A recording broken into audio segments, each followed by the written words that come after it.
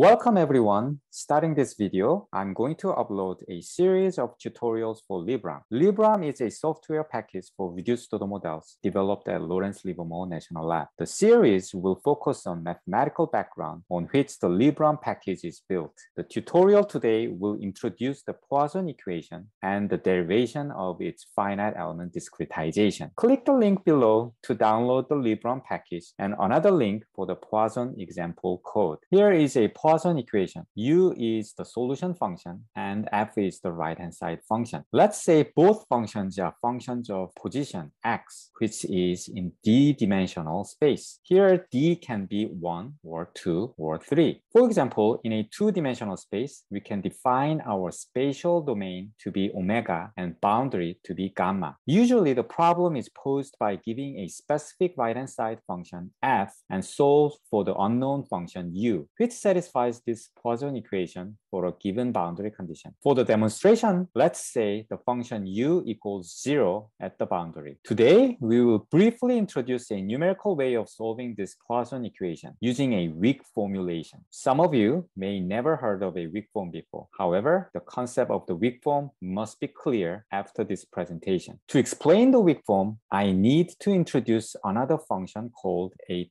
test function. Let's denote it as v, which is also a function of position. By the way, we are not going to mention anything about the requirement of all these functions here. Rather, we will focus on the derivation of the numerical method first and revisit the requirement of each function later. Now, if you multiply both sides of the Poisson equation by a test function v, then you get this new differential equation. This needs to be satisfied for any test function v because the test function is virtual. It was not in the original Poisson equation, because this equation needs to be satisfied only on our domain omega, let's integrate both sides on omega. Then you will get this integral equation. Now it is time to remind ourselves with some tricks we learned from calculus. That is, the product rule shown in the cheat sheet here. Then in worksheet, set A equals V and B prime equals second derivative of U. Then by the product rule, you should be able to see that the left-hand side of this integral equation is equal to these two terms. Now let's look at the second term. Here, again, we need to be reminded by another theorem we learned from calculus. That is the divergence theorem. The divergence theorem relates the volume integral with a surface integral. So going back to the worksheet, we can replace the second volume integral with the surface integral. Now let's look at the surface integral again. Here we have some freedom on the choice of the test function v on the boundary because we are only interested in obtaining solution in omega, not particularly on the boundary, while the solution at the boundary is already determined by the boundary condition, right? So we can set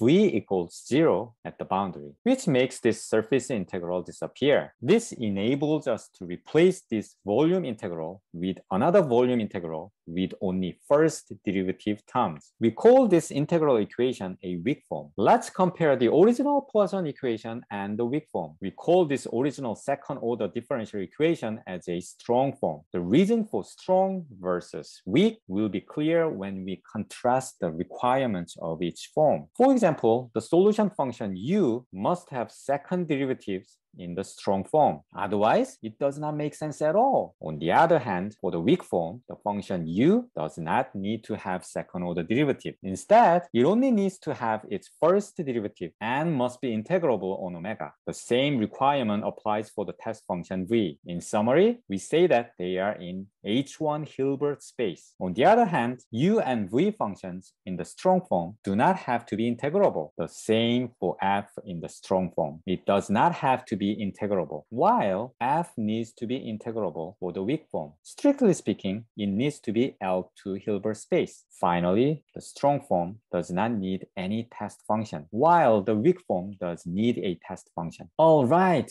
now the finite element method builds its foundation on the weak form. The finite element method predefines what u and v functions can be. Usually, they are predefined as a linear combination of some known functions phi. Note that phi functions depend on the position variable x, and they are predefined. So they are known. On the other hand, the use of k and v sub j are unknown scalar values. These scalar values can be considered as finite element coordinates. Therefore, the derivative of u with respect to the position x can be done by taking derivative of functions. Likewise, for the derivative of v function also, let's plug these functions to the weak form, then we get this equation. By the way, it is important to remember now that the test function v was arbitrary. The weak form must be satisfied for any test function. This implies that this equation must be satisfied for each index j. Now it is the observation time. Here everything is known except the scalar use of k with index k. So this can be considered as an unknown unknown vector u. Also note that this integral has two indices, j and k. So this can be written as a matrix. In other words, a second order tensor. On the other hand, this integral has only one index, j. So this can be considered as a known vector f